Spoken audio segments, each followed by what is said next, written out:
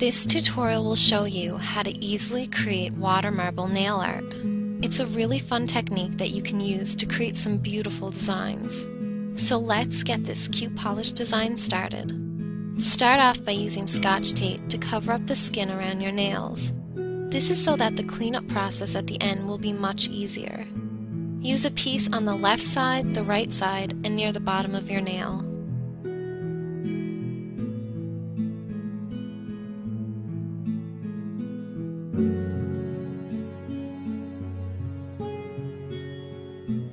Then use a base coat to protect your natural nails. The next step is to paint your nails white. First do a thin coat and let it dry. Then do a thin second coat to make it more opaque. Next, fill up a plastic cup with room temperature water. The water must be room temperature for this to work. Then choose a few colored nail polishes of a high quality brand that are newly bought so that they haven't thickened. Have the nail polish bottles unscrewed so that you can work fast. Drop a blob of polish onto the surface of the water. If it doesn't spread out nicely like this, then you will have to adjust either the temperature of the water or try a different nail polish.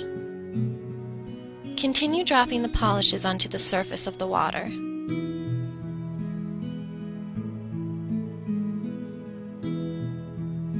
Then use a toothpick to quickly make a design. Line up your nail with the design and place it into the water. Leave the nail underwater and gently blow on the surface of the water for 5 to 10 seconds. This will quickly dry the polish on the surface of the water.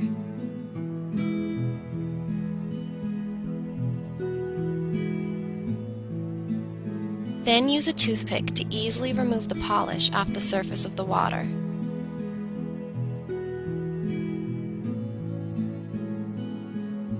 Now carefully remove your nail from the water.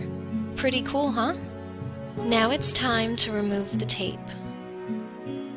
After you've done this, you can dip a cotton bud into nail polish remover to clean up around your nails.